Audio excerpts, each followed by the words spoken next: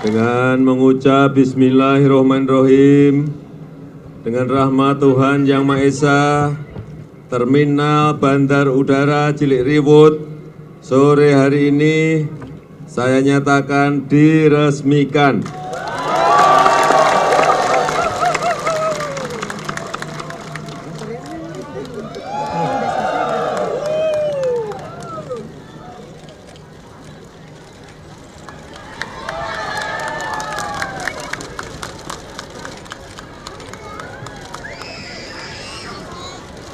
Ayan ang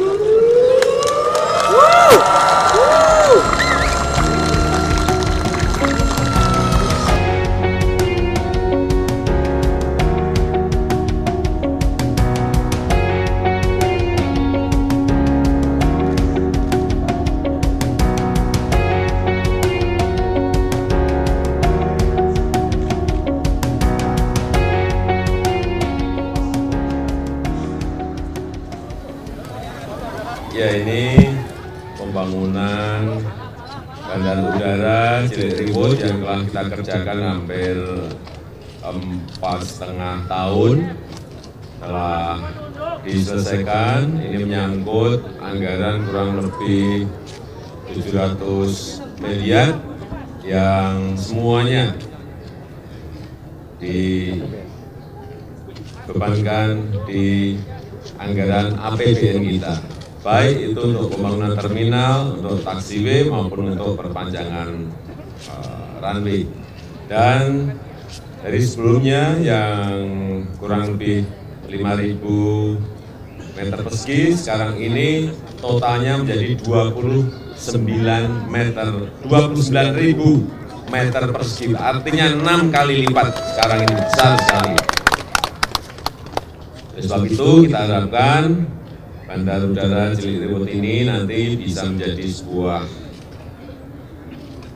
motor pertumbuhan ekonomi di Kalimantan Tengah dan itu terlihat dari jumlah penumpang yang meningkat sangat